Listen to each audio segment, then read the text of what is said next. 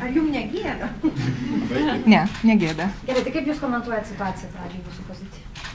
A, situacija yra tokia, kad mes tik aptarėm su ministro susidariusią situaciją, kuri čia galbūt vakar susidarė. Ir a, iš tiesų prieimiau sprendimą pasitraukti iš valstybinio turizmo departamento vadovės pareigų. Šis sprendimas brendo jau senai.